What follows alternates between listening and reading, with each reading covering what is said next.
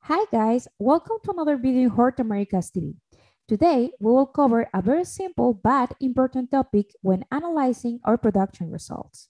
Fresh weight versus dry weight.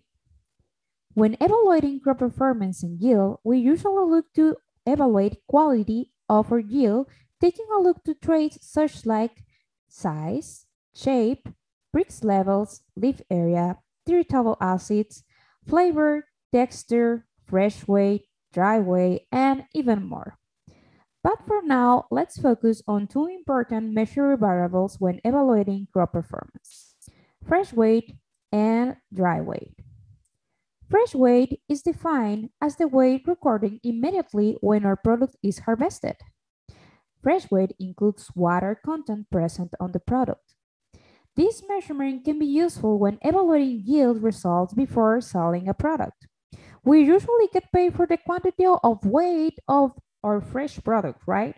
So we most of the time work with fresh weight. However, as I mentioned, fresh weight includes water content in the product at the harvest time. The negative part of this is that water content after harvest can change with time due to environmental conditions or different conditions at the harvest time.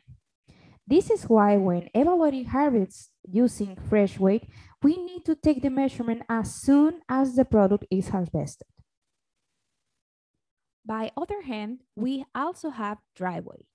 Dry weight is defined as the weight recorded after drying plant tissue at temperatures higher than ambient temperature.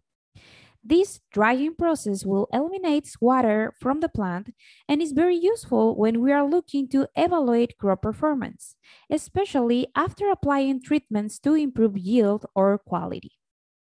Dry weight will provide a precise measurement of biomass eliminating fluctuation caused by water content. And plant total biomass can be directly related to the plant performance, as a response to the photosynthetic capacity, nutrition, or different environmental conditions that we can have inside of the system. This will be the best tool to record weight when evaluating treatments or special management to improve yield and quality. We can measure dry weight from the harvested final product or also the whole plant or even a specific tissue in order to evaluate our crop. In summary, dry weight refers to all the constituents of the plant except of water and is a more reliable option to analyze weight. Fresh weight includes water, is less reliable when trying to judge how plant management or system management is impacting plant performance but can be useful when measuring yield. But how can we measure dry weight? We first need to remove the tissue of the interest from the plant. If measuring the whole plant, be sure to clean roots and also remove any substrate present. You also need to be sure to remove any water present over the surface of the plant tissue. Now, set an oven with low heat and place the plant tissue or plant inside. This can be a long process. Usually, we do this overnight. Once plants cool down and the tissue is completely dry, then we can weight the final tissue. To measure fresh weight, we need first to harvest the plant organ or tissue of interest.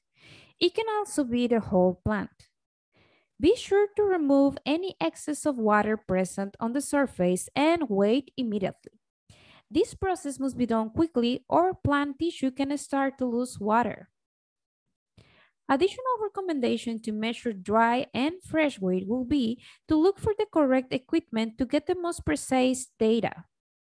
Analytical balance, for example, is usually used to get precise data, data for an object weighing less than approximately 100 grams. This equipment can easily lose calibration, so be sure to calibrate any kind of balance that you're using before weighing your product. especially when measuring dry weight analytical balance are very useful. This is very simple information, but when data is not collected or analyzed correctly, we can base conclusions in inconsistent information. Remember, the more you measure, the more you can manage your crop, and you then will have better results. Hope you find this information useful. Remember, my name is Carla Garcia, HortAmerica's Technical Service.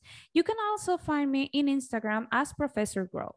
See you on the next video.